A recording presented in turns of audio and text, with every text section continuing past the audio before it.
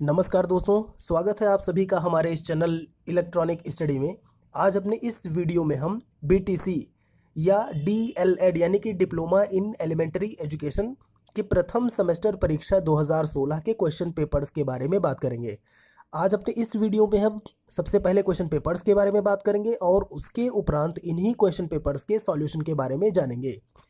दोस्तों, आप सभी से अनुरोध है कि बीटीसी परीक्षा के सारे क्वेश्चन पेपर्स और उनके सॉल्व्ड आंसर्स के लिए हमारे इस चैनल को सब्सक्राइब और बेल आइकन दबाना ना भूलें, जिसके उपरांत आप सभी को मेरे द्वारा अपलोड किए गए प्रत्येक वीडियो की अपडेट प्रॉपरली मिल तो इसी क्रम में आइए देखते हैं प्रथम सेमेस्टर 2016 का जो प्रथम प्रश्न पत्र है, बाल विकास, उसके बारे में, ठीक है? इसमें जो पूर्णांक है, वो है पचास और समय जो है, वो दो घंटे का है। ठीक है, सभी इसमें प्रश्न करने अनिवार्य हैं। इसमें बहुविकल्पीय अति लघुतरीय और लघुतरीय प्रश्न जो है, वो दिए हुए हैं। तो इसमें हम देखते हैं, बहुविकल्पीय प्रश्न जो दिया हुआ है, इसमें पहला दिया है कि बाल विकास का विभाजन कितनी अवस्थाओं में किया जाता है। ठीक है, ऑप्शंस में चार, तीन, पाँच छः ये दिया हुआ है। सेकेंड क्वेश्चन देखते हैं, इसमें है कि बालकों को पूर्वजों से प्राप्त गुण कहा जाता है। ठीक है, जो बालकों को पूर्वजों से प्राप्त गुण होता है, उसको क्या बोलते हैं, वो इसमें पूछा है। तीसरे में पूछा है कि बुद्धि के समूह कारक सिद्धांत का प्रतिपादन किसने किया था? ठीक है।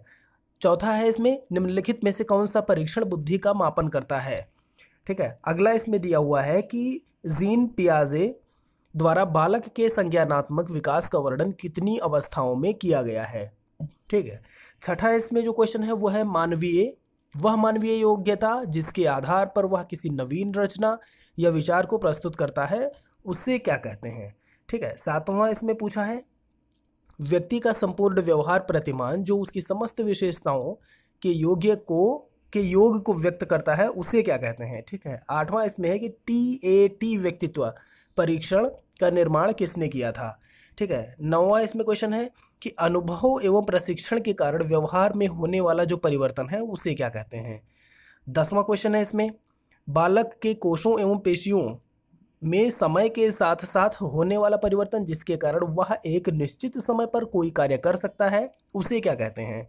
ठीक है, इलेवेंथ इसमें जो है, वो है, थॉर्डाइक ने सीखने की संबंधित, सीखने से संबंधित मुख्य कितने सिद्धांतों का प्रतिपादन किया था? ठीक है, क्वेश्चन नंबर ट्वेल्व जो है, वो है, पैवलो ने अपने सिद्धांत अपने सीखने के सिद्धांत का प्रतिपादन किसके ऊपर प्रयोग करके किया है? ठीक है तो ये बारह जो क्वेश्चंस हैं और उसके बाद ये जो तेरहवा है वो बता रहा है। उसमें पूछा है कि थॉन्डाइक ने अपने सीखने के सिद्धांत का प्रतिपादन किसके ऊपर प्रयोग करके किया है? ठीक है, चौदहवा है कि कोहलर के सीखने के सिद्धांत को किस नाम से जाना जाता है? ठीक है, पंद्रह नंबर क्वेश्चन जो है कि व्यक्ति की वह मनोस्थिति जिसके द्वारा वह विभिन्न परिस्थितियों में सामाजिक और व्यक्तिगत समायोजन करने में समर्थ होता है, उसे क्या कहते हैं, ठीक है? तो ये जितने भी क्वेश्चन हैं, इनके आंसर्स हमारे नेक्स्ट वीडियो में आप सभी को मिल जाएँगे। उससे पहले अब आते हैं अपने लघु, अति लघुतरीय प्रश्न पर, ठीक है? इसमें जो क्वेश्चन नंबर सिक्सटीन है, वो है बाल विकास के अंतर्गत बाल्यावस्था की अवधि कौन सी मानी जाती है? ठीक है क्वेश्चन नंबर सेवनटीन इसमें है अशिक्षित व्यक्ति बालकों की बुद्धि का मापन किस परीक्षण से करते हैं? क्वेश्चन नंबर एटीन है, बालक के संवेगात्मक, यानी कि जो इमोशनल डेवलपमेंट डेवलपमेंट होता है, बालक के संवेगात्मक विकास से संबंधित विकासात्मक सिद्धांत का प्रतिपादन किसने किया है? ठीक है, अगला इसमें दिया है कि जीन पियाजे द्वारा प्रतिपादित बालक के संज्ञानात्मक विकास से संबंधित तीसरी अवस्था क्या कहलाती है?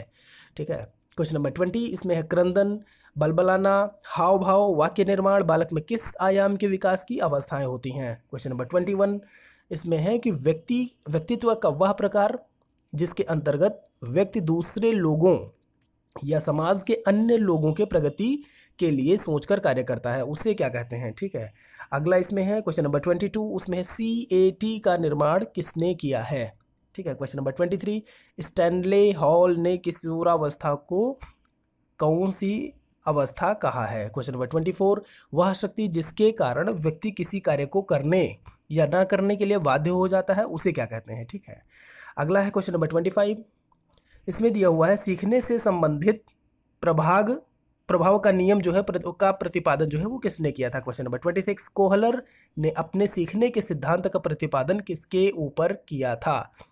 ठीक है, या किसके ऊपर प्रयोग करके किया था? ठीक है question number twenty seven Pavlov द्वारा अपने प्रयोग में पहले घंटी बजती थी, फिर भोजन दिया जाता था। यह प्रक्रिया कई बार होने पर अंत में क्या पाया गया? ठीक है? क्वेश्चन नंबर ट्वेंटी एट नियमित दिनचर्या, सबके साथ समायोजन, आत्मविश्वास, संवेगात्मक परिपक्वता और आम मूल्यांकन की क्षमता किस प्रमुख, किसका प्रमुख लक्षण है? ठीक है क्वेश्चन नंबर ट्वेंटी नाइन इसमें पूछा है कि जीन पियाजे ने बालक के संज्ञानात्मक विकास में किन क्रियाओं या प्रक्रियाओं का वर्णन किया है? ठीक है क्वेश्चन नंबर थर्टी पूर्व ज्ञान, विषय वस्तु, शारीरिक स्वास्थ्य व परिपक्वता मानसिक स्वास्थ्य व परिपक्वता, अधिगम की इच्छा व प्रेरणा आदि किसे प्रभावित करने वाले कारक माने जाते हैं? ठीक है, अब आते हैं अपने वेरी जो शॉर्ट टाइप क्वेश्चन है, यानी कि लघु उत्तरीय प्रश्न पर। इसमें दिया हुआ है क्वेश्चन नंबर थर्टी वन की बुद्धि लब्धि से आप क्या समझते हैं? ठीक है क्वेश्चन नंबर थर्टी टू अंतर्मुखी व्यक्तित्व से आप क्या समझते हैं? Question number thirty three Jean पियाजे द्वारा प्रतिपादित विकास की अवस्था के अंतर्गत पूर्व संक्रिया की अवस्था से आप क्या समझते हैं या आपका क्या तात्पर्य है? ठीक है। क्वेश्चन नंबर थर्टी फोर पूछ रहा है इसमें कि वैयक्तिक भिन्नता से क्या तात्पर्य है? क्वेश्चन नंबर थर्टी फाइव, कल्पना से आप क्या समझते हैं? क्वेश्चन नंबर थर्टी सिक्स कह रहा है कि अनुकरण द्वारा सीखना या सीखने से आपका क्या तात्पर्य है? ठीक है, क्वेश्चन नंबर थर्टी सेवन की सीखने की सीखने के तत्परता के नियम से आपका क्या आशय है? ठीक है क्वेश्चन नंबर थर्टी एट पूछ रहा है कि मानसिक थकान से आप क्या समझते हैं? ठीक है क्वेश्चन नंबर थर्टी नाइन कह रहा है कि कोहलर के अंतर्दृष्टि सिद्धांत से आपका क्या तात्पर्य है? क्वेश्चन नंबर फोर्टी सीखने से परिपक्वता का योगदान बताइए। तो ये था जो है प्रथम प्रश्न पत्र के जो चालीस क्वेश्चंस थे बाल विकास के, उसके बारे में। इन सभी क्वेश्चंस के आंसर हमारे हम अपने अगले वीडियो में आप सभी को देंगे। Thanks for watching this video